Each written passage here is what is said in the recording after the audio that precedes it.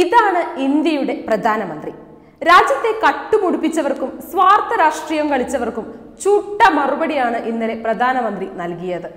സ്വാതന്ത്ര്യം ലഭിച്ചതിന് ശേഷം രാജ്യം ഭരിച്ച സർക്കാരുകൾ സ്വാർത്ഥ രാഷ്ട്രീയം കളിക്കുകയായിരുന്നുവെന്ന് പ്രധാനമന്ത്രി നരേന്ദ്രമോദി പറഞ്ഞു. അവർ വനമേഖലകളിലും കോളനികളിലും താമസിച്ചിരുന്ന ആളുകളെ അവഗണിക്കുകയും ചൂഷണം ചെയ്യുകയും ചെയ്തു.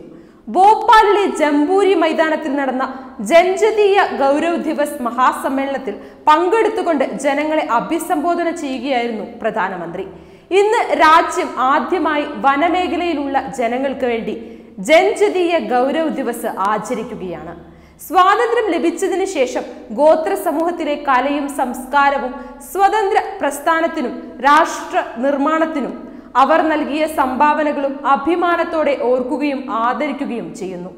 മുൻ സർക്കാരുകൾ വനവാസി സമൂഹത്തിന്റെ സംഭാവനകളെ അംഗീകരിച്ചിരുന്നില്ലെന്നും മേഖലകളെ ചൂഷണം ചെയ്തു എന്നും പ്രധാനമന്ത്രി കുറ്റപ്പെടുത്തി. ഇന്ന് ദേശീയ വേദികളിൽ രാഷ്ട്ര നിർമ്മാണത്തിന് ഗോത്ര സമൂഹം നൽകിയ സംഭാവനയെക്കുറിച്ച് നാം ചർച്ച ചെയ്യുമ്പോൾ ചിലർ ആശ്ചര്യപ്പെടുന്നു. രാജ്യത്തിന്റെ സംസ്കാരത്തെ ശക്തിപ്പെടുത്തുന്നതിന് ഗോത്ര സമൂഹം കഷ്ടപ്പെട്ടിരുന്നുവെന്ന് ഇവർ വിശ്വസിക്കുന്നില്ല.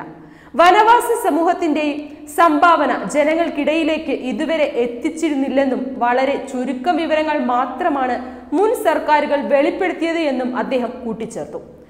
സ്വാതന്ത്ര്യത്തിന് ശേഷം പതിറ്റാണ്ടുകളോളം കാലം രാജ്യം ഭരിച്ചവർ തങ്ങളുടെ സ്വാർത്ഥ രാഷ്ട്രീയത്തിന് മുൻഗണന നൽകിയതിനാലാണ് ഇത് സംഭവിച്ചത് എന്നും പ്രധാനമന്ത്രി പ്രസ്താവിച്ചു.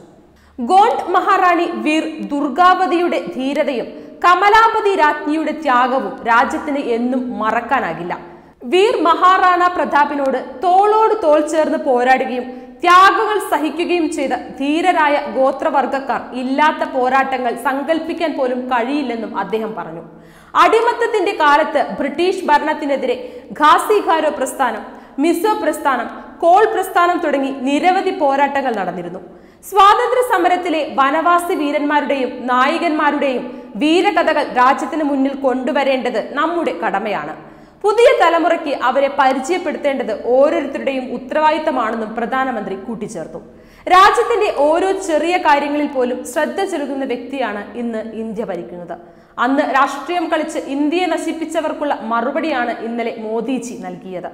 മോദിജി ഭരിക്കുന്ന ഇന്ത്യയിൽ ഇത്തരം രാഷ്ട്രീയ കോമരങ്ങൾക്ക് സ്ഥാനമില്ല.